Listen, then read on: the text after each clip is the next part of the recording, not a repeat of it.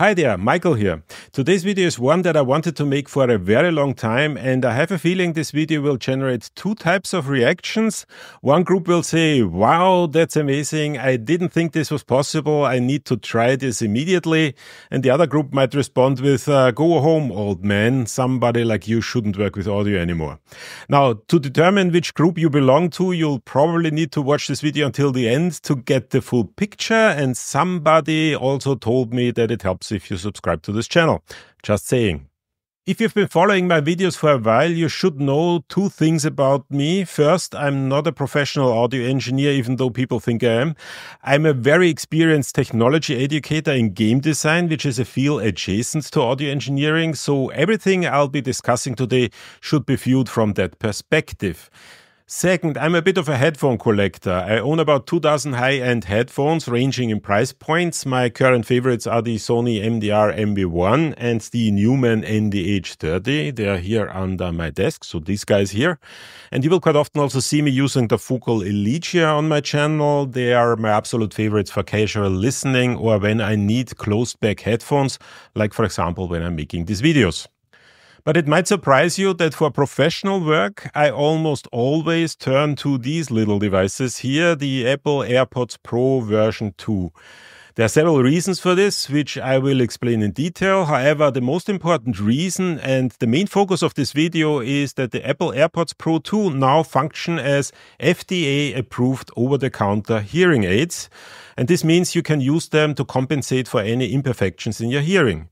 In this video, I'll show you how this works and more importantly, whether it can help you make better music. And here's a big spoiler alert. The answer is yes, absolutely. It does help you producing music and you don't even need to have any medically relevant hearing loss to benefit from it. What do I mean by that? Well, let's jump in and find out.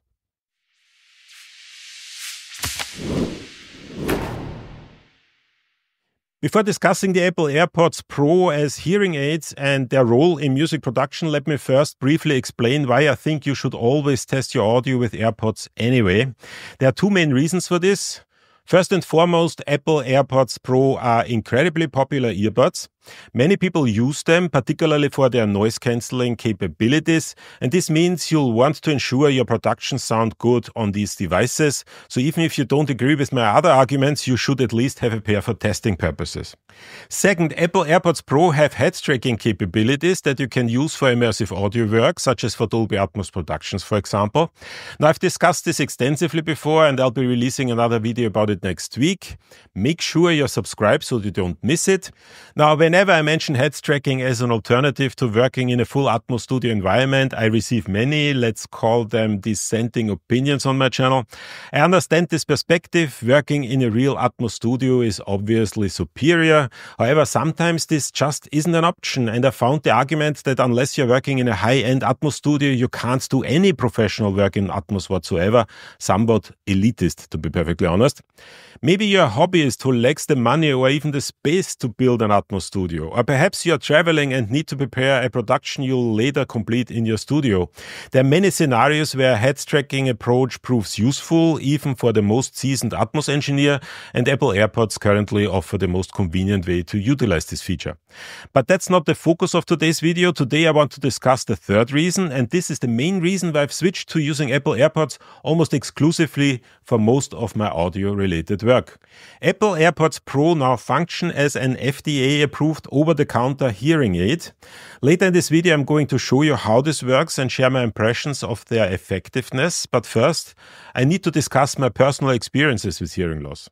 Hearing loss is a topic audio engineers rarely discuss for very obvious reasons. Think about it. If you're a music producer looking for a mastering engineer, who would you choose? Someone with known hearing loss or someone with perfect hearing? The answer is clear, which explains why hearing loss remains completely under-discussed in the audio engineering world. However, hearing loss affects all of us, especially those working with audio, and much of it is age related. An audio engineer in their 60s and 70s simply cannot hear at the same level as a 20 year old. That's just a fact, and while I wish people were more open about it, I completely understand why they are not. Regarding my personal hearing loss, you will see my hearing profile shortly, but let me first provide a general overview. My hearing loss has two primary components. First, there is age-related hearing loss. I'm in my late 50s and frequencies around 16 kilohertz are completely outside my hearing range, which is unfortunate but irreversible and there's nothing I can do about that, unfortunately. The second component likely originated from chronic ear infections I had as a child, and that is a mild cookie bite hearing loss in the mid range. In daily life, this doesn't affect me at all. In fact, had it not been for a severe ear infection two years ago, I might have never known about my mild hearing loss. I sometimes joke that my hearing is naturally V shaped, which is essentially accurate. The only noticeable impact on my daily life is my dislike of bright headphones. Beyerdynamics, for example, peak exactly where my hearing is best, which amplifies the brightness for me, and that can be extremely fatiguing. This is why I prefer mid forward headphones. On a side note, I suspect that when headphone reviewers discuss their preferred frequency response curves, they're really describing how these curves match their physiological hearing profiles. Before showing you how this hearing aid functionality looks in practice, there's one more important point I need to make. Hearing loss isn't constant. Your hearing ability can vary daily. When I take hearing tests, for example, some days show no medically relevant hearing loss at all, but usually it comes in classified as mild. Now, it is important to point out that in order to set up the hearing aid functionality of the Apple AirPods Pro, you need to have an iPhone. However, once you've set that up, the hearing aid functionality works across all Apple devices. So you can then take your Apple AirPods, and that is actually the main point I'm trying to make, and go over to your Macintosh and use it in connection with your digital audio workstation on your Mac. Now, with that being said, let me put on my AirPods and open the configuration options on my iPhone. In order to demonstrate what's going on on my iPhone, I'm going to use the new iPhone mirroring app. So while this looks like I'm working on a Mac, I'm actually working on my iPhone here through the iPhone mirroring app. So the first thing that we need to do is we need to set up the hearing aid functionality, and this is done through the settings. And in the settings under Apple's AirPods Pro, you can uh, go down here, and here you have hearing assistance, and you need to set that to enabled in order to uh, enable the hearing aid functionality. Now, uh, uh, you can set different types of adjustments, and I'm not going to talk about those. Those are primarily used for uh, the actual traditional way of using the Apple AirPods as hearing aids. What I'm actually more interested in is the media assist functionality, and you need to have that enabled because that essentially makes sure that uh, whatever audio is going through the AirPods, if it is audio coming from a digital audio workstation, for example, is going to be affected by the hearing aid functionality of the Apple AirPods, and that means that any audio is going to be corrected in such a way that you hear them or that you hear the audio perfectly. You can then uh, select whether you want to also have that adjusted for calls and FaceTime. But the most important point that I want to make here is you need to have that enabled for music and video. Now here down, uh, you can enable or you can update the hearing test results. And uh, the way you get this hearing tests is uh, in two ways. You can either use a hearing test that you took at a professional audiologist, and you can actually add that here. Uh, it allows you to actually type that in manually, or you can also scan that and simply use the scan of your hearing test in order to get that type of result. Or the other option is that you can use your iPhone as a testing device. And there are two ways to do that. The first one is you can go through the Apple hearing test. So here you have this little button here that you can uh, push. And if you click on that button, it will actually guide you through a hearing test. That hearing test works relatively well. It is very similar to a hearing test that you would take at an audiologist. Uh, another thing that you can do is you can use a third party application. And I'm actually using the Mimi hearing test application, which I find to be particularly accurate. Uh, the, the results that I'm getting from that particular application are almost completely identical to the results that I got from my professional audiologist. And here you already see my hearing hearing results. Uh, and as you can see, I have a bit of a cookie bite hearing loss. And uh, the cookie bite hearing loss is more pronounced in the right ear than it is in the left ear. My hearing in the lower frequencies and the higher frequencies is relatively okay. Now, uh, as I said at the beginning, this is going to vary from day to day. Sometimes these curves are a little higher, but usually kind of this is the type of hearing test that I'm getting.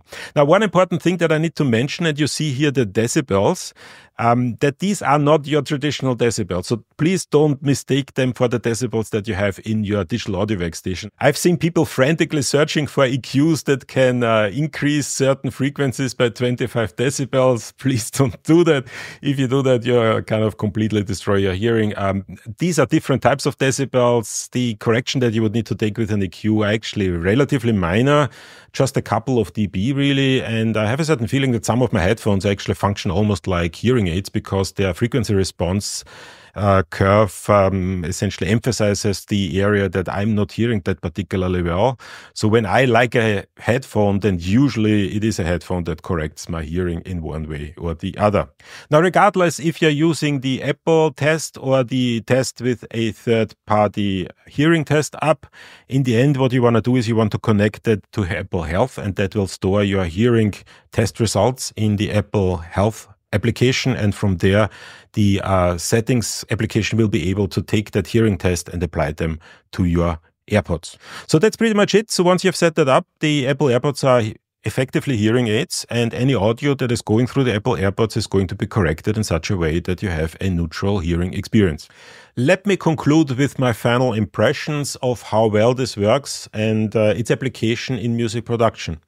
The AirPods Pro obviously aren't ideal for audio work as they aren't neutral. If this concerns you, you can EQ them for a more natural frequency response, which works actually quite well together with the hearing aid functionality. However, in my experience, EQ isn't really necessary. The AirPods Pro are, which I would consider good enough for basic audio work. Obviously, you can't do serious mastering work with these. So if you are an intern in a studio mastering the latest tracks of Taylor Swift, don't tell your boss that Michael said to use the AirPods. That is not my point. What I mean is that they're perfectly fine for casual work or for projects that will undergo more rigorous mixing and mastering later. Given that caveat, however, I must clearly state that the benefits for correcting what I hear significantly outweigh the disadvantage of not having a perfect frequency response, at least for me. And then there's one final comment, and that is that hearing is not a constant for anybody. So if you're looking at your hearing profile, regardless of how good your hearing is, there will always be a little bit of an up and down, and there will always be a little bit of a coloration in the way you hear. So the hearing aid functionality of the Apple AirPods might actually also be beneficial for people who do not really have a hearing loss at all, but just wants to even out their hearing profile so that they can have the most natural sound possible. So this might actually be useful for anybody, not just for people who have mild hearing loss. But I'd love to hear your opinion. Do you use AirPods Pro for audio work? How well do these perform in your experience? Have you ever tried the hearing aid functionality? And if so, what are your thoughts?